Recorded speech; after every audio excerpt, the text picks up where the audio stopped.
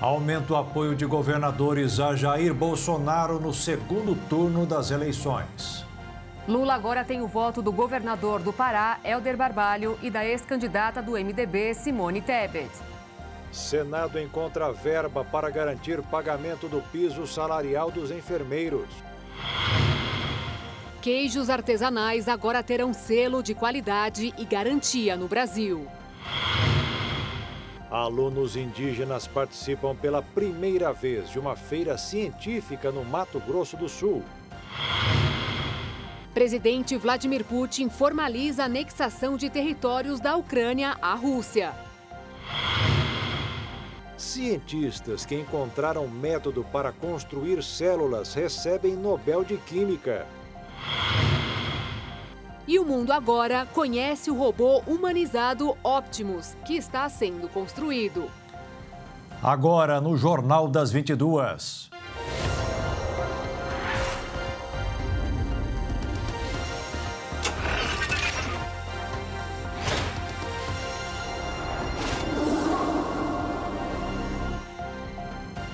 Olá, boa noite. Boa noite.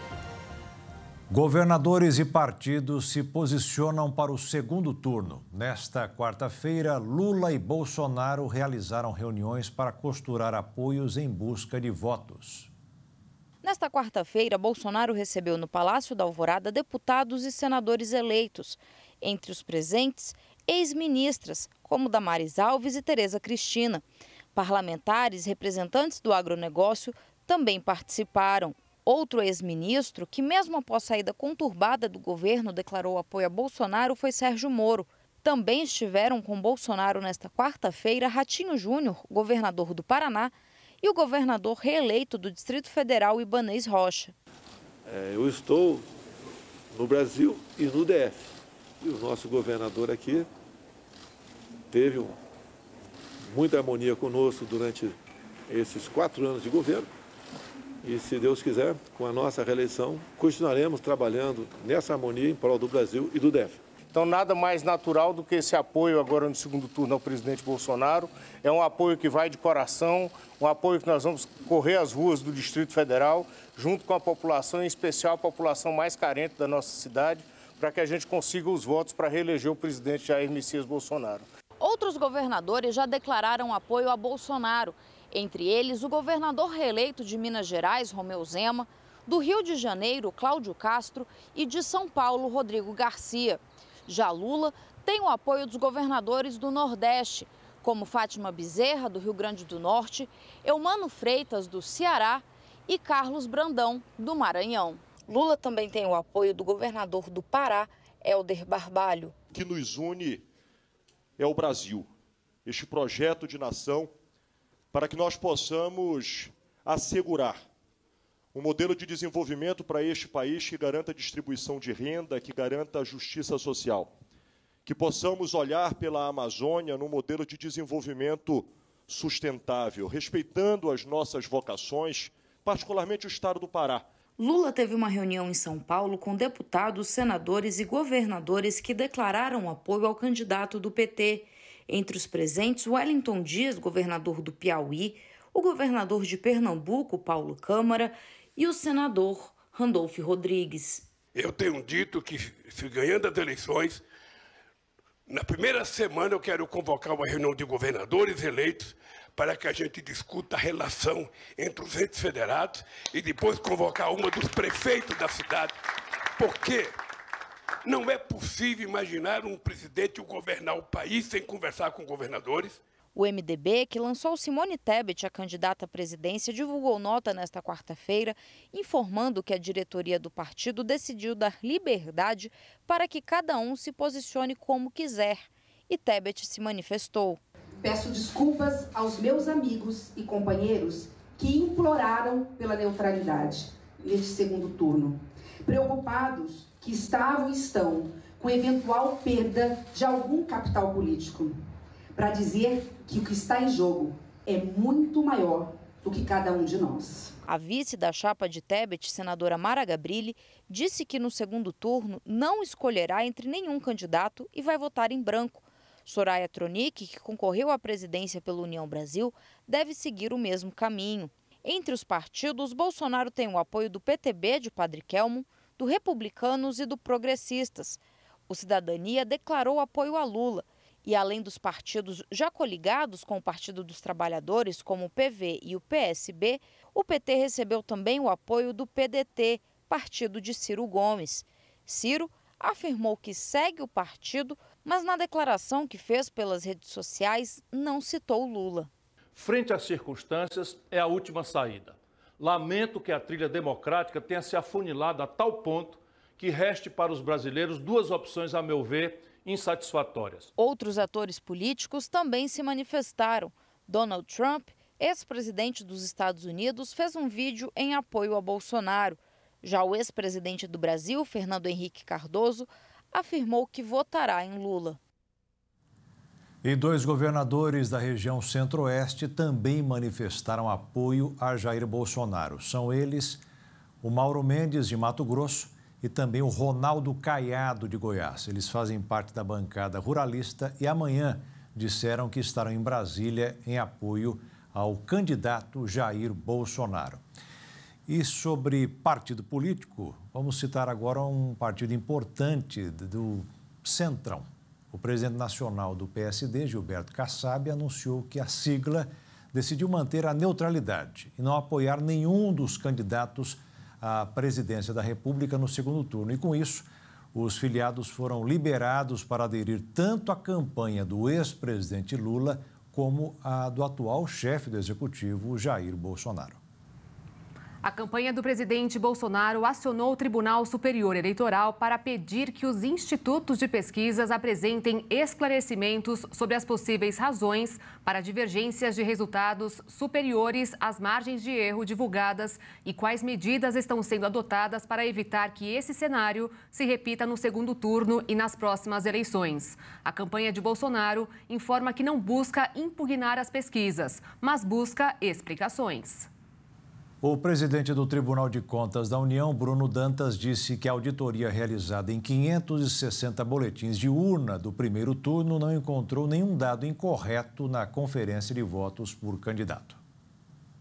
O tribunal checou o processo de conferência de votos para os cargos de senador, governador e presidente. A auditoria foi iniciada no domingo e o órgão ainda vai auditar 4.161 boletins de urna impressos que serão enviados pelos Correios ao tribunal para atestar a veracidade dos dados divulgados pelo TSE no primeiro turno das eleições. Bruno Dantas afirmou que ficou evidenciado mais uma vez a transparência do sistema eleitoral brasileiro. O resultado dessa checagem está previsto para novembro. O presidente da Câmara dos Deputados, Arthur Lira, liberou os deputados de participarem de maneira remota de todas as sessões deste mês. Segundo ele, o objetivo é acelerar as votações sem exigir a presença dos parlamentares que estarão envolvidos no segundo turno das eleições. No documento assinado hoje, está permitida ainda a participação das sessões para discutir projetos à distância. Vamos falar agora de Covid, Beatriz. Covid, a vacina anti-Covid desenvolvida pela Universidade Federal de Minas Gerais deve começar a ser testada em humanos a partir do mês que vem. Os pesquisadores esperam entregar um imunizante contra o coronavírus mais barato e com tecnologia totalmente brasileira. A Anvisa autorizou o avanço da pesquisa com a Spintec, vacina contra a Covid com tecnologia 100% brasileira, da Universidade Federal de Minas Gerais, em parceria com a Fiocruz. Com isso, os testes devem começar em humanos já no mês que vem. O imunizante é baseado na única proteína do vírus, que é produzida a partir de tecnologia de DNA recombinante. A previsão é que a primeira fase de testes do imunizante seja feita com 80 voluntários divididos em dois grupos, um de pessoas com até 55 anos e o outro entre 56 e 80 anos. Os pesquisadores vão avaliar a dosagem ideal para aplicação. A segunda parte do projeto, prevista para fevereiro de 2023, com cerca de 400 pessoas, deve avaliar a segurança do imunizante e a capacidade de proteção. Se o projeto tiver sucesso nas duas etapas planejadas, a Spintech segue para a terceira fase de testes com um grupo amplo da população. Só depois dessas fases ela pode ter autorização permanente da Anvisa. Caso o imunizante seja aprovado, vai chegar ao mercado como um reforço. A vacina, que pode ficar até 50% mais barata que as concorrentes, pode ter particularidades alteradas para se adaptar às novas cepas. Pouco mais de 170 milhões de brasileiros estão totalmente imunizados contra a Covid-19. Os dados são de um levantamento do consórcio de veículos de imprensa colhidos desde janeiro deste ano. O número mostra que quase 80% da população total do país está imunizada com a segunda dose ou a dose única de vacinas. Já a população com 3 anos de idade, que está totalmente imunizada, representa 85,35%. A faixa etária de 12 anos ou mais que pode receber o reforço atualmente corresponde a quase 60%.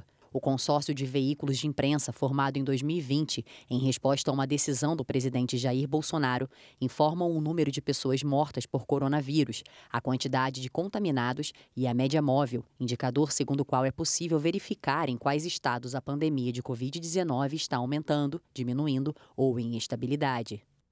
Entidades médicas alertaram para a falta de medicamentos usados para o tratamento da Covid em toda a rede do Sistema Único de Saúde.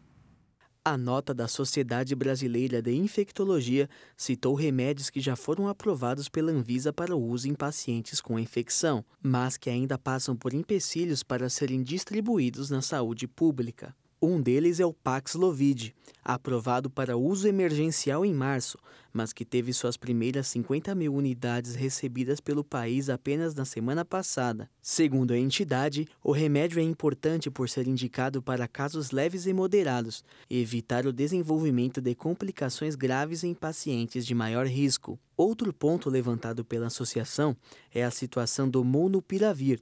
O remédio é recomendado para pacientes em fase inicial da doença. A tese foi comprovada através de estudos que mostraram a eficácia dele em barrar a evolução para quadros graves da doença, diminuindo o risco de morte e de hospitalizações. No entanto, a Comissão Nacional de Incorporação de Tecnologias do Sistema Único de Saúde não aprovou a incorporação do tratamento no SUS.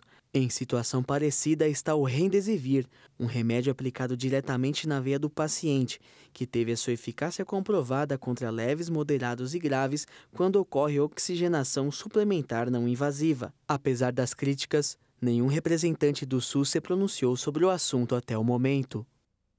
E veja a seguir: Senado encontra verba para garantir pagamento do piso salarial dos enfermeiros. E ainda, alunos indígenas participam pela primeira vez de uma feira científica no Mato Grosso do Sul.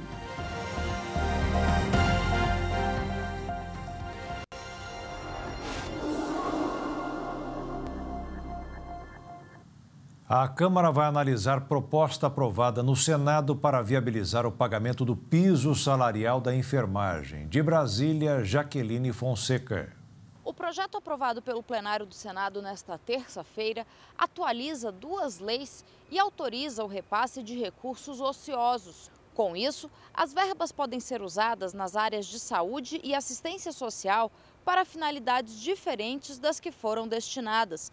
Segundo o relator da proposta, senador Marcelo Castro, a aprovação desse projeto é a primeira proposta do Senado para financiar o piso salarial da enfermagem e libera de imediato 4 bilhões de reais para estados e municípios. O texto aprovado no Senado segue para análise da Câmara dos Deputados. A Confederação Nacional dos Municípios, CNM, informou que a proposta não viabiliza o pagamento do piso salarial da enfermagem. A CNM diz que a medida não traz nenhum recurso novo para os municípios e os valores flexibilizados dos saldos disponíveis são ínfimos, perto do impacto financeiro que chega a 10 bilhões de reais ao ano apenas para os entes locais. Já a Confederação Nacional de Saúde, que representa hospitais privados e entidades filantrópicas, destacou que o Congresso precisa viabilizar fontes de custeio para a rede pública e privada de saúde e que o impacto da instalação do piso salarial da enfermagem pode chegar a 18 bilhões de reais ao ano. O piso salarial da enfermagem foi criado a partir de lei aprovada pelo Congresso Nacional, mas foi suspenso por decisão do Supremo Tribunal Federal, que considerou a lei inconstitucional e afirmou que a medida pode causar demissões em massa e fechamento de leitos. De Brasília, Jaqueline Fonseca. As exportações brasileiras cresceram mais do que a média global no primeiro semestre deste ano. Segundo o relatório do Banco Mundial divulgado hoje, o agronegócio e outras matérias básicas da economia do nosso país garantiram um aumento de 2,1% nas vendas, enquanto a soma de todos os outros países ficou em 1,8%. O Banco Mundial revisou para cima a expectativa de crescimento da economia brasileira neste ano e o relatório traz ainda perspectiva de melhora para 2023 e 2024. O Banco Mundial elevou de 1,5% para 2,5% a estimativa de alta do PIB, o Produto Interno Bruto do Brasil, para este ano. Os dados também prevêem crescimento na economia nacional de 0,8% para 2023 e 1,8% para 2024. A nova estimativa acompanha as revisões recentes apresentadas pelo Ministério da Economia e pelo Banco Central. Tanto o governo quanto a autoridade monetária passaram a prever uma alta de 2,7% das riquezas nacionais no acumulado deste ano em relação ao resultado de 2021. O relatório do Banco Mundial analisa que as taxas de crescimento previstas para a região da América Latina e do Caribe vêm aumentando consistentemente desde janeiro, em contraste com as quedas no resto do mundo. Apesar da melhora das projeções para o Brasil, o país ainda deve crescer menos que a maioria dos países da região.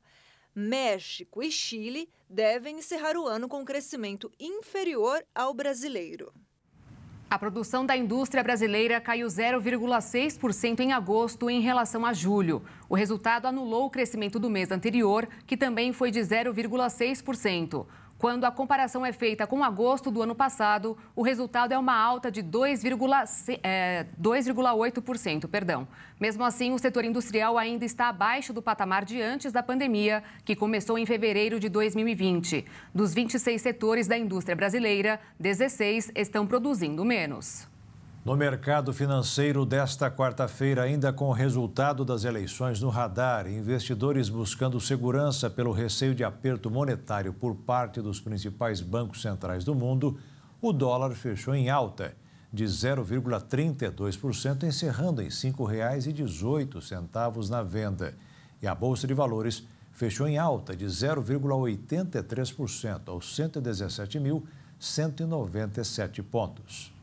Com a redução do ICMS sobre combustíveis em junho, o preço do etanol já caiu 26%. O litro do combustível custa R$ 4,41 em média, mas já pode ser encontrado abaixo de R$ 3,00, como na cidade de Várzea Grande, no Mato Grosso, com valor de R$ 2,98, o mais barato do Brasil. E uma reportagem que exibimos aqui na Rede TV há quase um mês de um brasileiro que transformou um Uno Mille em motorhome para ir de carro até os Estados Unidos fez muito sucesso nas redes sociais com milhões de visualizações e por isso a nossa equipe de reportagem ficou curiosa. Voltou a conversar com o aventureiro para saber o que aconteceu nesse meio tempo e quais são os planos para o futuro. Quase 104 mil visualizações e mais de 40 mil novos seguidores. Essa foi a repercussão da matéria feita com Luiz pela nossa reportagem há cerca de um mês. Ah, moleque! Nós chega ou não chega aqui, rapaz? Muita gente comentando e tal, muita gente compartilhando a, a, a, matéria. Foi uma das matérias que eu mais gostei que o pessoal fez aí de, de imprensa de TV assim, ficou muito legal. Na ocasião, o youtuber contou que tinha plano de ir até o Canadá, mas desistiu por causa do clima gelado. Põe a bandeirinha do Brasil aí que agora é nós, ninguém segura. E essa questão do frio para mim é muito difícil porque eu não tenho isolamento no carro, não tenho ar quente e tal, então para mim dormir dentro do carro temperatura muito baixa fica muito complicado e o Canadá é mais para cima ainda, então. E aí ele pensou, para que encarar o frio do Canadá se poderia aproveitar o calor das amizades que fez em Boston, onde está agora? Afinal, como o próprio youtuber falou na primeira entrevista, são os amigos a maior recompensa de toda essa jornada. Então a gente passou a fazer vários encontros com os brasileiros, A gente fez encontro em Nova York, a gente fez encontro em Bridgeport, que é em Canérica, e a gente fez dois encontros aqui na região de Boston e está sendo muito legal a recepção dos brasileiros aqui. A ideia do Luiz agora é recomeçar a jornada, dessa vez na Europa.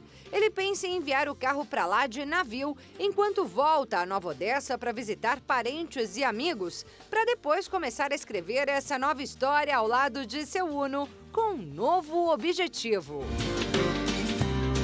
A meta seria chegar até a fábrica da Fiat na Itália. Transformar um Uno em motorhome e colocar o pé na estrada para seguir rumo à realização de sonhos, como fez o Luiz tem se tornado objetivo de vida de muitos dos seguidores do brasileiro. Comece com o que você tem na mão, que foi assim que eu comecei. Eu não esperei, eu, ah, o dia que eu tiver muita grana, vou comprar um carro melhor, vou fazer um motorhome. Eu, eu fiz com o que eu tinha na mão. Na época eu tinha esse carro. Eu acho que a vida está aí para ser vivida hoje. Eu vivo minha vida de um passo de cada vez, de um dia de cada vez. Eu acho que essa é a dica que eu deixo. Faça com que você tem na mão. Comece com o básico e daí as oportunidades vão surgir na sua vida. Além disso, Luiz lembra que é preciso que o veículo esteja no nome do viajante, que deve estar com toda a documentação em dia. Tanto a do carro, que não pode ser financiado, como os documentos pessoais, como passaporte, visto, carteira de habilitação e vacinas. Essa é a documentação básica que as fronteiras vão exigir. Aí depende de cada país, tem suas regras, seus seguros, suas taxas. Compartilhar toda essa experiência com os seguidores do canal 1 a Uno é o que dá ainda mais força ao Luiz para seguir adiante na trajetória que começou por acaso, mas que hoje é estilo de vida e receita de alegria para mim, pô, eu fico muito feliz. Eu nunca imaginei que um dia eu inspirar alguém a fazer uma coisa que eu fiz, como no começo eu fazia para mim, assim, para me melhorar. Eu tava com depressão, tava mal e não pensava que um dia ia inspirar as pessoas a também realizar o sonho delas, também às vezes que elas estão nessa situação também de mal, depressão, e querer sair dessa condição e constrói o carro e sai para viajar e melhora e fala, cara, você me ajudou a sair dessa condição, recebo mensagem assim. Isso é muito, muito legal. Fico muito feliz demais.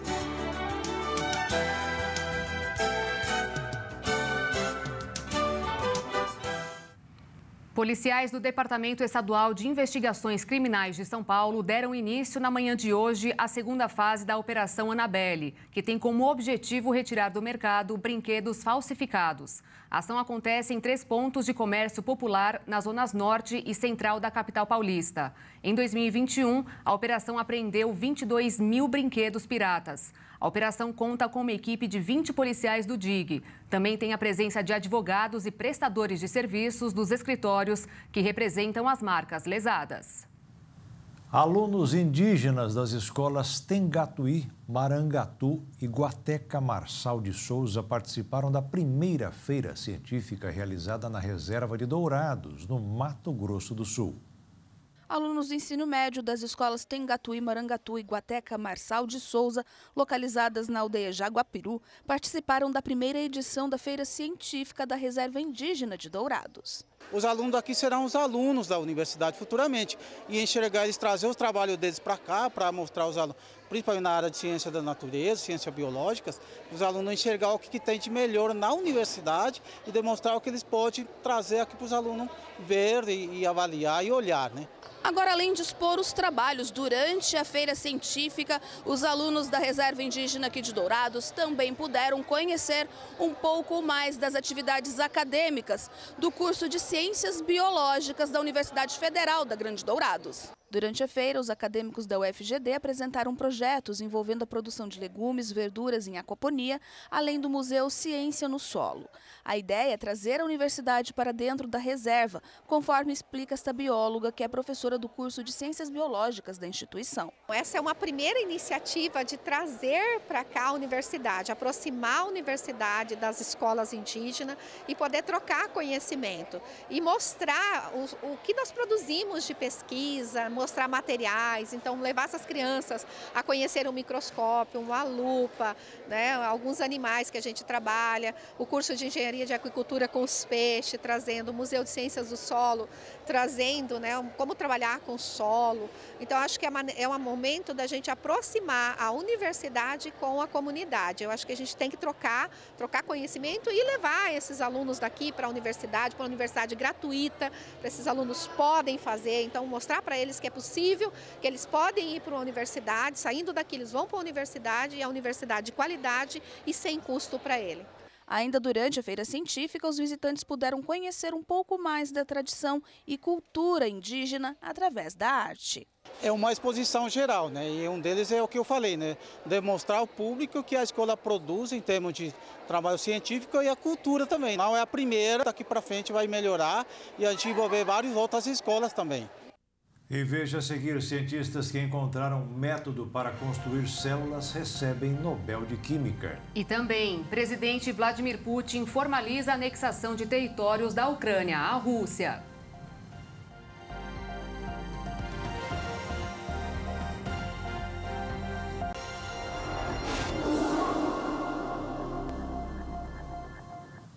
Poluição sonora, exposição excessiva a barulho pode causar problemas de saúde. A exposição por longos períodos ao barulho excessivo pode desencadear problemas graves de saúde, como distúrbios do sono, doenças vasculares e até obesidade. A Organização Mundial da Saúde estima que até 2050, cerca de 25% da população mundial tenha algum grau de perda de audição. Otamir é vizinho de uma empresa que processa materiais recicláveis. Ele conta que há mais de um ano não consegue dormir direito. Por eu trabalhar à noite né, e ter que dormir durante o dia, ele, no fundo, como tem a, é, a reciclagem no fundo, eu não consigo. Eu não consigo. O técnico em refrigeração diz que procurou a Semadur para relatar o problema. Eu já tentei na Semadur, já tentei na prefeitura e nada resolve. Ele só fala que está em andamento, em andamento. E eu preciso dormir. O gerente da empresa de recicláveis explica que receberam a visita da Semadur. A Semadur ela veio aqui. Ela veio, verificou, é tanto que pediu algumas é, melhorias aqui dentro. A gente fez, mandamos os documentos para lá, né? E pela Semadur a gente está tá pronto. Quanto à reclamação dele, por enquanto, para nós, ele não veio aqui. Não teve nenhuma participação dele aqui conversando sobre acordo se está com barulho ou se não está. O nosso horário de expediente são das 7h30 às 11 e de 1 às 5h30. No entanto, essas máquinas não trabalham é, direto, né? Tem hora que elas trabalham uma hora e meia para, às vezes trabalha até a parte da manhã. Então, é, quando tem o um material, ela trabalha, quando tem, ela fica desligada. A lei do sossego ou do silêncio, como ficou conhecida, define limites de horário e faixa de frequência de ruídos permitida.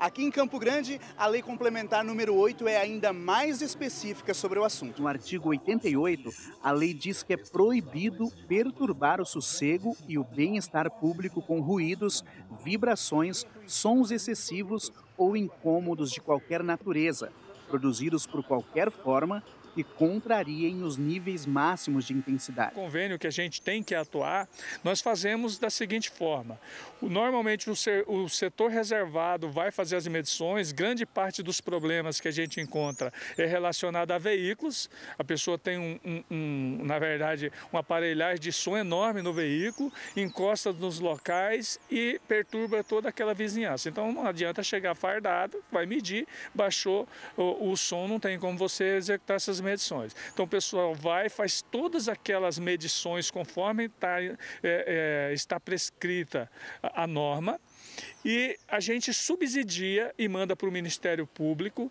é, ou para a Polícia Judiciária para subsidiar as três instâncias. Primariamente, a gente subsidia a, a parte penal, que o Ministério Público pode oferecer denúncia até direta com, com isso, e a pessoa vai responder pelo crime de poluição, um crime ambiental que prevê uma pena de 1 a 4 anos de reclusão. As pessoas pensam que aquele som daquele carro não vai dar, pode dar prisão em flagrante, inclusive, 1 a 4 anos de reclusão.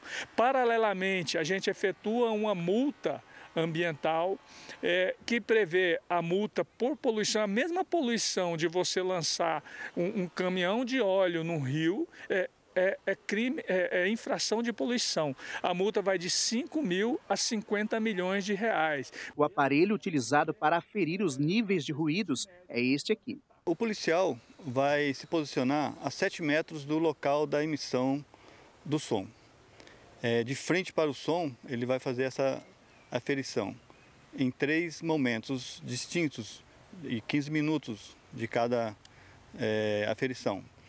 Posteriormente, ele vai para a direita e para a esquerda a 7 metros também de distância, fazendo novas aferi três aferições em, em tempos diferentes, a fim de que seja feita uma medição é, aritmética para no final verificar se houve ou não a poluição sonora naquele local. Para evitar problemas, o bom senso ainda segue sendo o melhor remédio. E caso a diplomacia não funcione, pode recorrer à, à, polícia, à polícia militar ambiental, pode recorrer ao Ministério Público, ao órgão ambiental, porque também é uma infração ambiental. Então ele tem a, a todo mundo, como é um crime, como é uma infração, como é uma perturbação, como é um, uma infração civil também, da, é, a perturbação do sossego, o Código Civil também tem essa, essa, essa previsão também, é, pode se socorrer de toda a estrutura pública para que haja a providência e ela seja sanada. O presidente da Rússia, Vladimir Putin, oficializou a anexação ao seu, te, te, uh, desculpa, ao seu território de quatro regiões separatistas ucranianas. A lei já tinha sido aprovada pelo parlamento russo e agora recebeu a assinatura final do presidente. A ação determina que as regiões de Donetsk, Luhansk, Kherson e Zaporizhia fazem parte da Rússia. Na semana passada, Putin já havia assinado um documento em que anexava esses territórios, mas faltava algumas pendências e negociações com forças políticas do país. Apesar da assinatura de Putin, o Kremlin informou que ainda precisa determinar as fronteiras finais entre os territórios. De acordo com o parlamento da Rússia, as pessoas que vivem nessas regiões receberão passaportes russos. A moeda da região também passará a ser o rublo russo. A chancela do presidente acontece no momento em que a Ucrânia está conseguindo retomar o controle de algumas regiões e expulsando militares russos de parte delas, que, segundo o próprio país, foram dezenas, incluindo oito vilarejos em Kherson. O ato de Vladimir Putin foi considerado ilegal pela comunidade internacional. Kiev e seus aliados ocidentais dizem que a ação da Ucrânia é uma apropriação ilegal de terras e nunca será reconhecida. A Ucrânia disse que seu exército irá recapturar qualquer território ocupado por forças russas. Nesta quarta-feira, Vladimir Putin assinou outro decreto ordenando que o governo russo assuma o controle da usina nuclear de Zaporizhia, a maior usina nuclear da Europa. No momento, o prédio está controlado por tropas russas, mas tem sido operada por funcionários ucranianos. Para mensurar a sua importância, a energia gerada no local é suficiente para abastecer cerca de 4 milhões de residências. Só essa usina era responsável por um quinto da eletricidade da Ucrânia e metade de toda a geração nuclear. Além da capacidade de geração, ela é importante porque fica a cerca de 200 quilômetros da Crimeia, região que os russos anexaram a seu território em 2014. Pela manhã, uma cidade localizada a 75 quilômetros de Kiev foi bombardeada com drones kamikazes. Dezenas de bombeiros correram para o local depois que seis artefatos atingiram o prédio. Nas últimas três semanas, a Ucrânia relatou uma série de ataques russos com drones de fabricação iraniana. O Irã nega ter fornecido drones à Rússia. Os Estados Unidos levaram uma cosmonauta para a Estação Espacial Internacional em um foguete SpaceX nesta quarta-feira. A cosmonauta russa Ana Kinika foi enviada para a Estação Espacial Internacional como parte da tripulação do Crew 5, que também inclui dois americanos e um japonês. Nicole Mann, a primeira nativa americana enviada ao espaço, comanda a missão, a quinta rumo à ISS liderada pela NASA em uma espaçonave da empresa aeroespacial do bilionário Elon Musk. 15 dias atrás, um americano foi para a estação a bordo de um foguete russo Soyuz. O programa de intercâmbio de astronautas, previsto há muito tempo, foi mantido apesar das tensões entre Estados Unidos e Rússia desde que a Ucrânia foi invadida em fevereiro. A manutenção da ISS se tornou um dos poucos campos em que Washington e Moscou ainda cooperam. A cápsula lançada deve se acoplar à estação após 30 horas de voo. Os cinco astronautas e cosmonautas vão se unir a outros sete que já estão instalados no local, dois russos, quatro americanos e um italiano. Quatro membros que viajaram na missão anterior vão retornar à Terra em poucos dias após a substituição. Uma esperança para o desenvolvimento mais preciso de medicamentos e a cura mais rápida de doenças é a previsão dos estudos feitos por cientistas que foram anunciados hoje como vencedores do Prêmio Nobel de Química. O Prêmio Nobel de Química de 2022 foi atribuído nesta quarta-feira ao dinamarquês Morten Meldal e aos americanos Barry Sharpless e Carolyn Bertozzi, que estabeleceram as bases para uma forma mais funcional da disciplina científica. Sharpless, de 81 anos, venceu o Nobel de Química pela segunda vez. Ele e Meldal, de 58 e professor da Universidade de Copenhague, foram reconhecidos pelo trabalho pioneiro com a química click, uma nova forma de combinação de moléculas. Apenas outras quatro pessoas receberam duas vezes o Nobel. A francesa de origem polonesa Marie Curie, agraciada com o prêmio de Física e o de Química, o americano Linus Pauling, que recebeu o de Química e o da Paz, o também americano John Bardeen, de Física, e o britânico Frederick Sanger, de Química. A americana Bertozzi, de 55 anos, foi premiada pelo desenvolvimento da química bioortogonal, uma reação que é descrita como capaz de se iniciar em um organismo vivo, mas sem perturbar ou modificar a natureza química. O trio vai dividir a quantia de 10 milhões de coroas suecas, o equivalente a mais de 4 milhões e meio de reais, e vai receber o prêmio das mãos do rei Carl XVI em uma cerimônia em Estocolmo em 10 de dezembro. E mesmo no meio de uma guerra, a Ucrânia agora também é candidata a sediar o Mundial de 2030, que vai completar 100 anos da competição. O país vai concorrer com Portugal e Espanha. Portugal e Espanha anunciaram nesta quarta que o país que enfrenta um conflito com a Rússia vai se juntar à candidatura conjunta, apoiada pela UEFA. Para alguns, esta decisão pode parecer surpreendente e inesperada. Para nós, foi uma decisão lógica e natural. A devastação, a fuga de milhões de ucranianos, a incerteza em relação ao futuro, tudo isso pesou na nossa vontade de integrar a Ucrânia nesta candidatura. Espanha e Portugal oficializaram a candidatura conjunta para organizar o Mundial de 2030 em junho de 2021. Os detalhes de como a Ucrânia seria integrada ainda não foram revelados. Uruguai, Argentina, Chile e Paraguai também apresentaram uma candidatura conjunta pela América do Sul para celebrar os 100 anos da primeira Copa do Mundo, realizada em Montevideo. Enquanto isso, Grécia, Egito e Arábia Saudita também estariam negociando para promover outra candidatura. As sedes da Copa do Mundo de 2030 vão ser anunciadas em 2024 durante o Congresso da FIFA. E veja a seguir: queijos artesanais agora vão ter selo de qualidade e garantia no Brasil. E ainda, o mundo agora conhece o robô humanizado Optimus, que está sendo construído.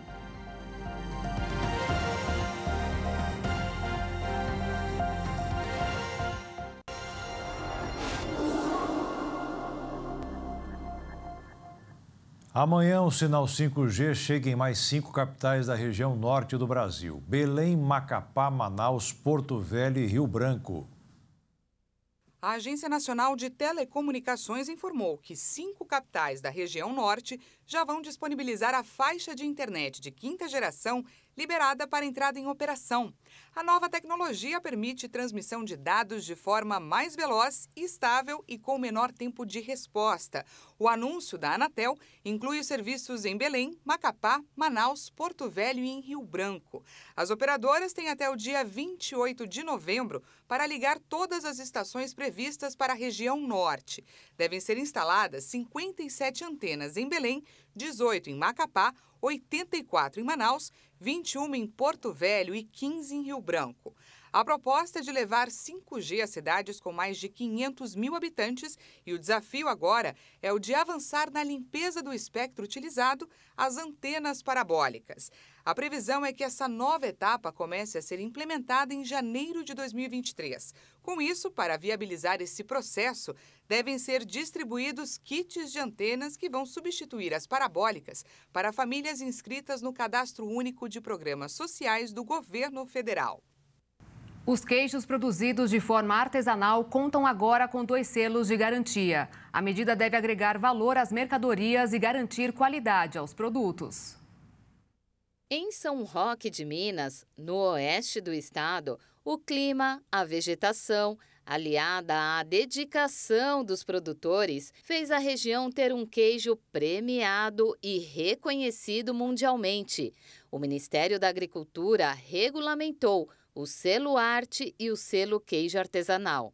A regulamentação beneficia os produtores pelo reconhecimento dessa característica de artesanalidade do seu produto e também beneficia os consumidores pela possibilidade de acesso a produtos de qualidade com essa diferenciação. Na família do Hugo, o queijo canastra é produzido há cinco gerações. O produto já tem o selo arte do Ministério da Agricultura, uma certificação que estimula o trabalho formal dos produtores do país, além de tornar o queijo mais reconhecido.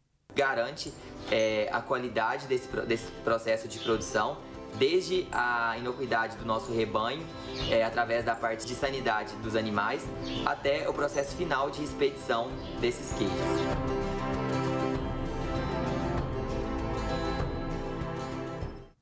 A empresa de carros elétricos Tesla, do bilionário Elon Musk, anunciou o primeiro protótipo de um robô com ca características humanas capaz de carregar objetos. O Optimus, ou Tesla Boot, como também é chamado, foi apresentado no evento da empresa sobre inteligência artificial, que acenou para a plateia, onde também foi mostrado um vídeo em que o robô carregava caixas, levantava barras de metal em uma fábrica e regava plantas. Segundo a companhia, uma das maiores virtudes do robô será realizar tarefas consideradas repetitivas ou chatas. O projeto é sucessor do modelo que a empresa apresentou no ano passado, o protótipo movimenta os braços, mas não anda, pelo menos por enquanto. A expectativa da empresa é produzir milhões de unidades de robô e colocar à venda no mercado por 20 mil dólares, cerca de 100 mil reais. Elon Musk afirmou que o robô deve estar pronto para receber encomendas entre 2025 e 2027. Com o projeto, Musk tem o objetivo de fazer com que a sua empresa seja vista como uma líder na área da inteligência artificial e não apenas como uma empresa que faz carros legais. As projeções indicam que a empresa pode faturar mais com a venda dos robôs do que propriamente com a venda dos carros. Apesar de serem muito promissores, executivos da empresa admitiram que ainda é preciso fazer melhorias no robô e evoluir o projeto com o decorrer dos anos. Somente em julho deste ano, o setor de turismo faturou mais de 18 bilhões de reais. Os números são da FEComércio de São Paulo e animam o setor em Mato Grosso do Sul, estado conhecido pelas belezas naturais e a imensidão do Pantanal. Segundo o Conselho de Turismo da FEComércio São Paulo, no Brasil, o setor faturou só em julho deste ano mais de 18 bilhões de reais, um aumento de 32% se comparado ao ano passado. Bruno Wendling, diretor-presidente da Fundação de Turismo de Mato Grosso do Sul, fala desse crescimento. Eu só não gosto muito de comparar com o ano anterior, que foi um ano de pandemia. Né? É, esperava até um crescimento um pouco maior. Se você pegar que a gente teve muitas restrições em vários estados, a malha aérea aproximou baixou muito, né, mais de 70% na época. Então, as comparações que eu gosto de fazer sempre é pré-pandemia em relação a 2019.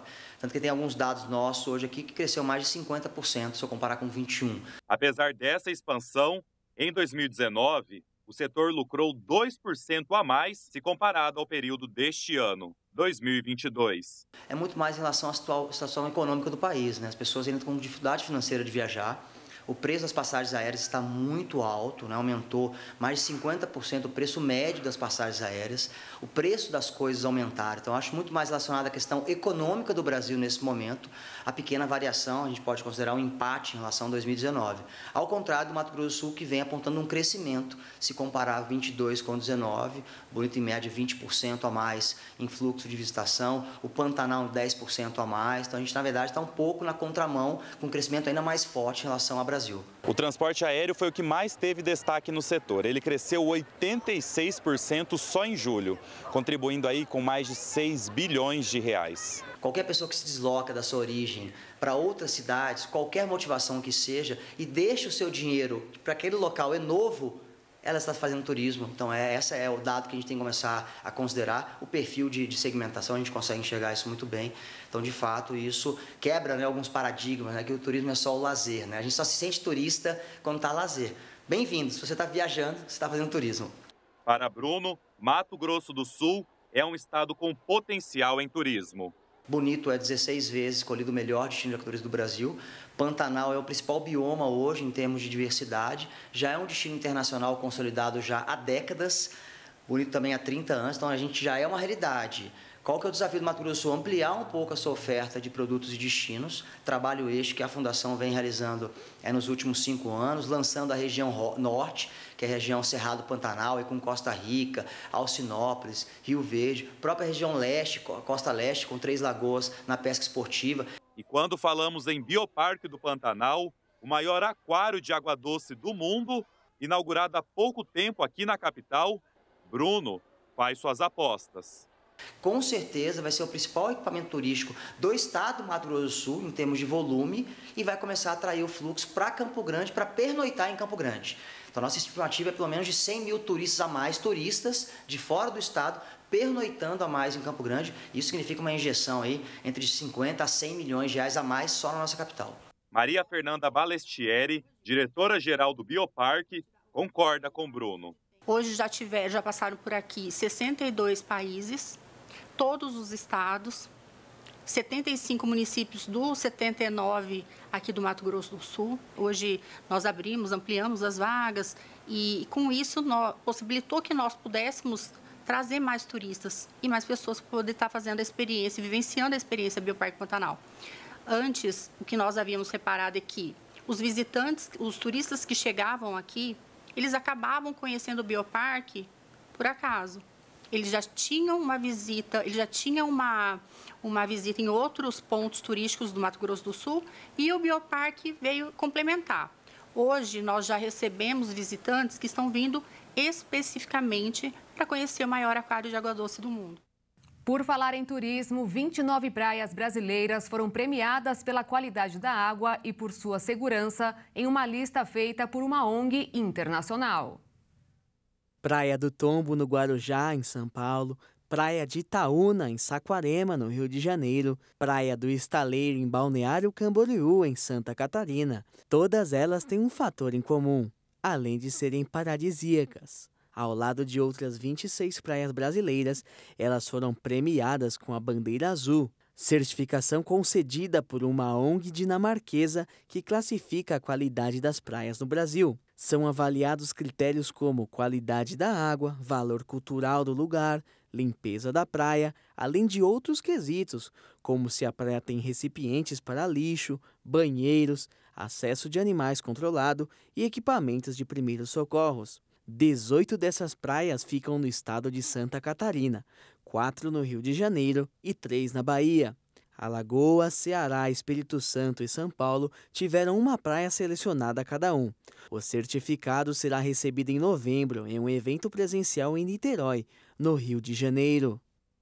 E o Jornal das 22 termina aqui. Obrigada pela sua companhia, um ótimo fim de noite para você e até amanhã. Boa noite, fique na paz. Tchau.